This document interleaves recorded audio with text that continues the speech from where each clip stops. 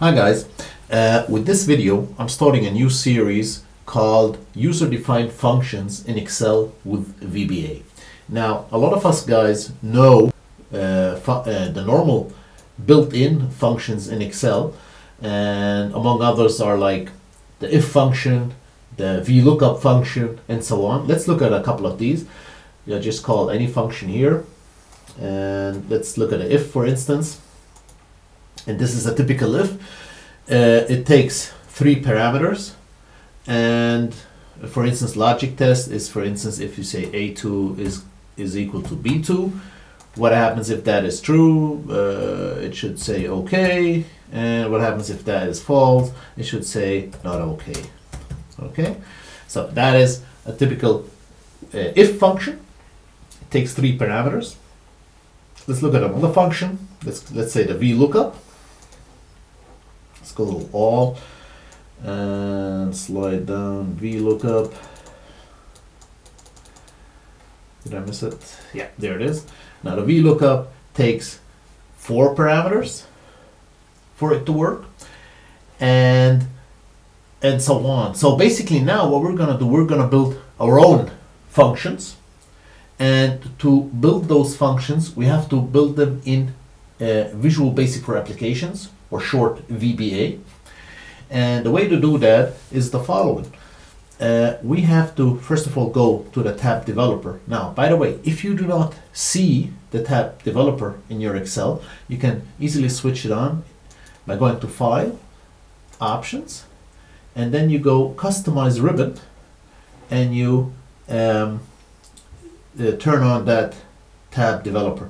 Uh, by default, there's no check in that in that in that box. So basically, just check the box, go to OK, and you should be able to see the developer tab. Right, go to developer tab and go to Visual Basic, and then you would have this window basically empty. And now we need to insert a new module. So that's our model. We can even call it uh, whatever we want. My own functions, or let's call it first functions. First functions. Okay, and return. Right now it's called first functions, and here we can start uh, inserting the code for our functions. Now, to start a function, you or to start off a function, you type in the word function, the keyword function, you always have to type that in. Then comes your function name, let's call it my first, and then open param. Now here come the parameters. In this case, our first function does not require any parameters, so we just close the, uh, the, the brackets. Okay, so open parentheses, close parentheses, this here has is, is empty. That means our first function does not take any parameters. Yeah, you saw the if function required three, the VLOOKUP required four. Our own function here, in this case, doesn't require any parameters. So, and then what does this function, or what's the type of uh, uh, output that this function uh, delivers? In this case, it's a text or string. So basically, as string. Okay, and then I can press return. So basically now we just defined our first function with the word function. We gave it a name. We said it does not take any parameters and it delivers a string or the output is of type string and down here is then the under the function. Now in between here we write the code. We are going to write a very simple thing and we're basically going to say my first. This is our sorry. This is our variable and So, what that means is we defined a variable called my first, and this is equal to hello. Now, if this variable is identical to the function name, that means that this is the output of the function. Okay, so you'll see later on in in most complex VBA functions, in here you would have a lot of code, but at the end you would have a variable exa- called exactly the same as the function and it has an equal and then something and this something is is that what your function outputs Okay, in our case, our function just outputs the word hello, right? And let's test it. Now I can call my function in two ways. One is just equal my first open paren, close paren, and then return. And here we go, hello. Or I can also go here through the wizard and go to user defined and you'll see here my first and just okay it does not take any uh, parameters. That's why we can't input anything and then okay and there you go. You would have hello so now we just define our first function in excel with vba. Let's define a second function. This one the second one would uh, convert meters to feet. Okay so let's go back to our vba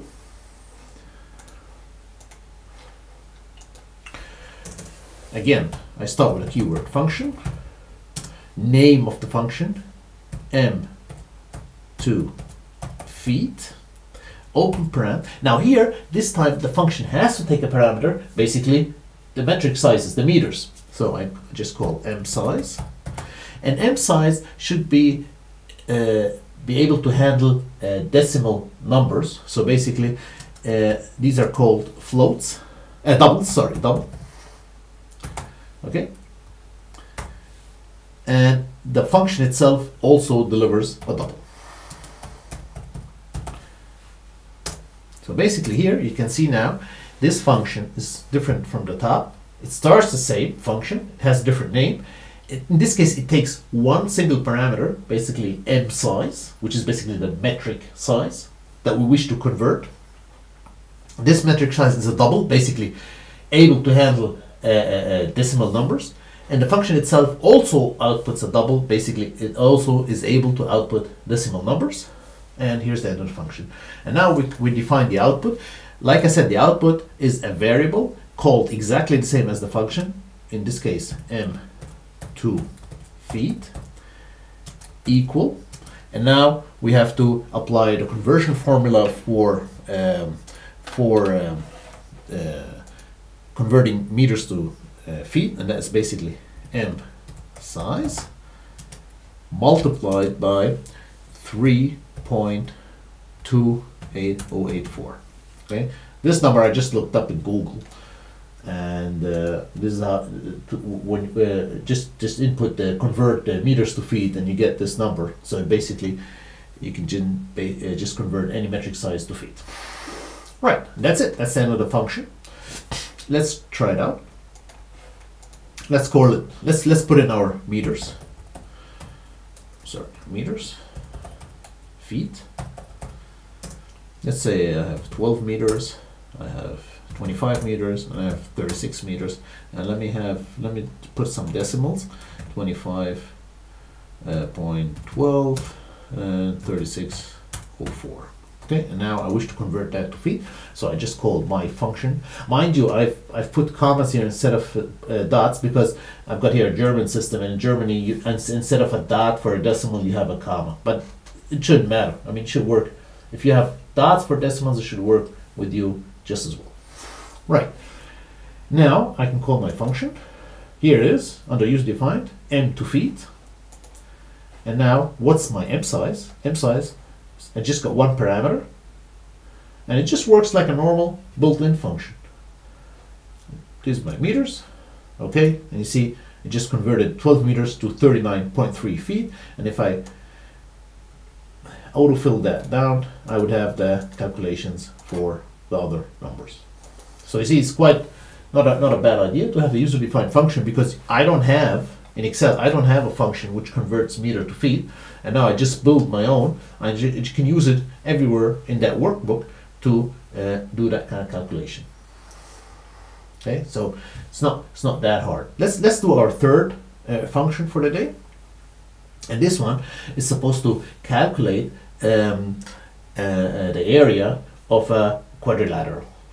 Okay, so basically again I go back to my VBA, and here new function called uh, calc calc area and this one takes two parameters length, and I, uh, as integers. This time I don't want to work with, uh, or I know I'm not going to work with um, uh, decimal numbers, so I'm just going to work with uh, whole numbers and as in, in integers.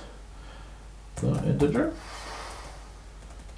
integer. There we go. Just double click on that, comma, width as integer, and then close param, and then what does that function deliver? It also delivers an integer.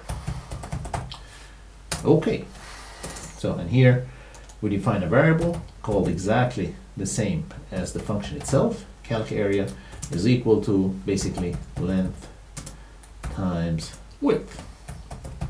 All right, and calc area, I just misspelled that, very important. There you go. Right, so that's my third function, calc area and we can try it out. Let's put here some lengths, length, width, and area. Let's say. Now remember, our function can only handle integers, so I'm just going to input integers.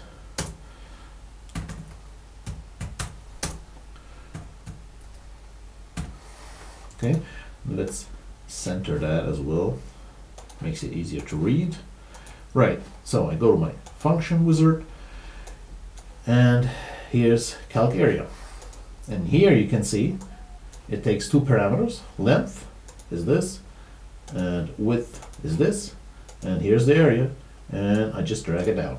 So you can see we just created three simple functions, simple functions that a lot of people need every day, yet they're not present in Excel and we just created these using VBA and in the next videos I'm gonna we're gonna build more complex functions and I'm gonna give you more uh, yeah tips and tricks on how to build effective functions in Excel with VBA.